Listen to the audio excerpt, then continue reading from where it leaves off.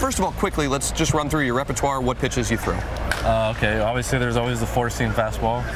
Uh, mine goes kind of across. It just feels comfortable for me. A lot of guys throw theirs really straight, but mine goes across. Obviously, there's four seams going that way. Sure. Uh, my sinker, two seam, whatever everyone wants to call it, right on, very simple, right on top of the seams. My thumb's on the bottom.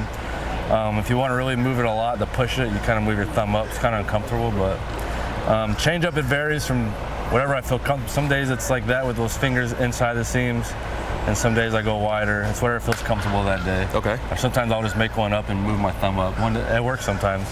Slider, lately it's been more right about there. That way I have I can rip against that seam right there. Mm-hmm. Obviously I don't throw many sliders, so maybe I need to think of something else. Okay, but let's go to your bread and butter, which is the two-seamer. So let's let's grip that again and just kind of take the viewers through how you throw that pitch. Uh, the main thing is a lot of people do it wrong. At least I feel like they'll put a lot of finger on the ball, or they'll go too high, and that takes a lot of friction on it, and that trues the spin up. Hmm. I'm very fingertip dominant. That's probably why my nail is breaking. Very fingertip dominant, where I just want to feel the tips, and the last thing I want to feel at the end is come off that middle finger.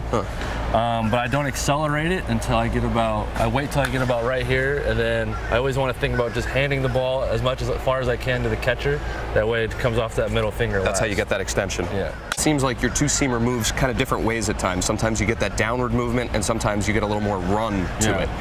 And you mentioned that you can modify the way that you're throwing this pitch to get it to have those different types of movement. How, how do you make that adjustment? What is that adjustment? I think it's all acceleration. If I want to make it run a little bit, I'll kind of get under a little bit, accelerate early and get under. Okay. If I want it to run back on a kind of like that way, sideways from the outs from the left-hander's batter box and back. so I'll- towards towards a left-handed hitter's Yeah. hip, and then back to the I'll, front I'll corner. come out of it a little bit. Uh-huh. I'll make sure I reach, but I still want to come out of it. If I want to drive at his hip and drive it down, I'll still come up, get on top of it, and then reach it, and then drive it down. It's just all a matter of when you start the acceleration. If I Mm. accelerate it early, it's going to run. If I accelerate it late, it's going to be more of a downward movement. downward movement. You lean kind of like Sean Doolittle, very heavily on your fastball, your Yeah. two-seamer, your four-seamer.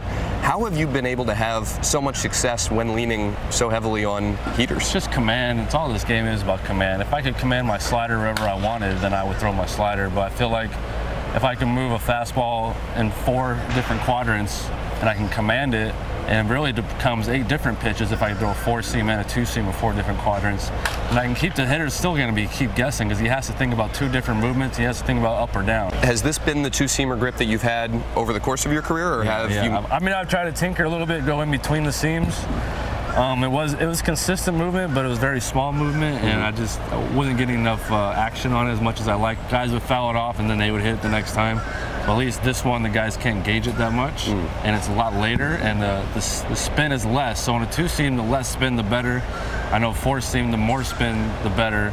So uh, like I think mine's under 2,000 RPMs, which is really good. I think last year Zach Britton was like 1,600, which was unbelievable Oh, wow. for 98. Yeah. Um, but I think four seam for a guy over 2,400, that's really good. So you always, it's almost like you want a, a knuckleball two seam. Right. So again, for the fans out there, these two seams down the middle, That's right, right on top. right on top. But just fingertips.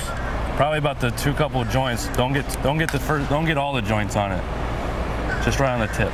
and then thumb underneath. Yeah, thumb underneath, and really want to feel that finger come on top. Cool. Brandon, thanks so much. No problem. Brandon Kintzler taking us behind the seams.